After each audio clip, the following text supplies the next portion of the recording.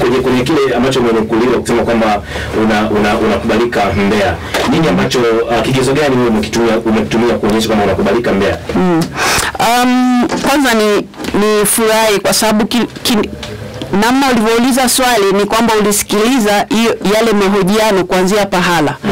Swali liliulizwa kwamba mbona unaonekana unatajwa maeneo mengi mm. na ikatajwa mifano, unatajwa Busokelo, unatajwa Rungwe, unatajwa Mbeya mjini. Kwa hivyo wakati wa kujibu nikatoa sasa hayo maelezo kwamba mimi nashukuru kwamba hayo maeneo wanaona naweza kugombea. Kwa hiyo swala la mimi kukubalika, yeye mwandishi ndiye aliyelileta, na waandishi nyie mnafanya utafiti kwa hiyo si mimi kusimama mahali kwamba jamani, mimi nakubalika. Hapana. Mm. Na hata kama nakubalika, hilo ni swala ambalo wewe mwananchi unaweza ukasema, sio mimi mm. kusimama mahali kusema nakubalika. Lakini wewe mwananchi ukiniambia nakubalika, mimi naanzaje kukubishia na wewe ndio mwananchi mwenyewe? Kwa nini nafurahi, Kwa nini hataki kukubalika jamani? Kwenye siasa tunaishi kwa yani kwa kuwa na watu. Kwa hiyo na mimi nafurahi kwa namna hiyo hiyo ulivyoniuliza, unajuaje kama unakubalika? Ni mwananchi aliyesema kwamba nimesikia unatajwa maeneo haya, na mimi nafurahi kwamba natajwa. Naamini kwamba natajwa, ndio Unaamini kwamba unakubalika? anaamini, sio nimeambia mwananchi. Labda wewe uniambie tofauti. Sasa ukiniambia wewe tofauti, pia nitakuamini kwa sababu nawe ni mwananchi Eh.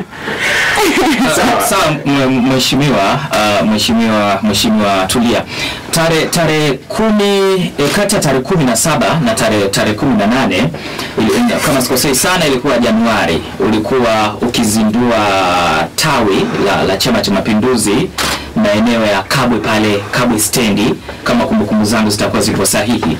Ni, ni kunukuu katika hotuba yako ambayo uliweza kuzungumza siku ile pale, ukasema unakereka sana na wapinzani ambao wanasema wamefanya wao shughuli fulani za maendeleo wakati hayo mambo yamefanywa na serikali na, na natamani kufahamu E, jimbo letu la Mbeya mjini ipo wazi linaongozwa na chama cha upinzani e, chama cha demokrasia na maendeleo Chadema. Uli- Ulikuwa unamaanisha kwamba inawezekana na hapa kuna miradi ambayo imefanywa na serikali, lakini wapinzani wanatumia hiyo nyenzo kusema kwamba wao ndio wamefanya, au baadhi ya maeneo mengineyo?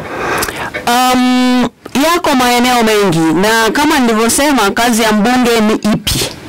Na hapo umesema unaninukuu, we kama mwandishi ningefurahi wakati unasema unaninukuu, wewe unasoma, kwa sababu hakuna namna utaniambia unaninukuu kwa maneno ambayo unayatumia ya kwako ulivyoielewa Mm. ile hotuba niliyotoa. Okay. Kwanza hayo hayo maneno pale Kabwe hayakusemwa, yamesemwa sehemu nyingine Mm. kwa sababu Kabwe kilichozungumzwa kuhusu wapinzani kilikuwa ni kuhusu wao kuweka bendera yao pale na mambo yalizungumzwa kuhusu hayo Mm. lakini hata hivyo hiki ulichokisema, kwa sababu nishakisema maeneo mengine na mwananchi anahitaji anahitaji ufafanuzi. Yeah. Kuna fedha kwa mfano zile ambazo zinatafutwa kwa juhudi za mtu mwenyewe na kuna fedha ambazo serikali inaleta ili kutekeleza miradi na kuna zile ambazo wananchi wenyewe wanachanga. Si tunajua hata sisi tunachanga kwenye jamii zetu, mifuko sijui nini, mabati na vitu kama hivyo.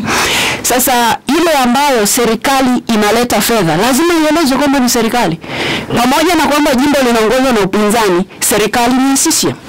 Kwa hivyo yale yanayoletwa na serikali, hata kama ni mpinzani, ni vizuri asemi fedha zinatoka wapi. Huwezi kusema kwa kuwa ni mpinzani, serikali imeleta kwa kuwa wewe ni mpinzani. Mm -mm. Lazima u acknowledge, lazima uoneshe fedha zinatoka serikalini. Mfano, fedha za mfuko wa jimbo anasimamia mbunge, lakini ni fedha zinazotoka serikalini.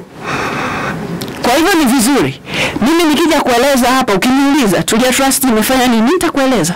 Hela zimetoka wapi, nitakueleza, si ndio? Nimezitafuta mie, sio serikali imenipa, lakini fedha za mfuko wa jimbo matumizi yake hayo yako wazi, lakini nilete serikali.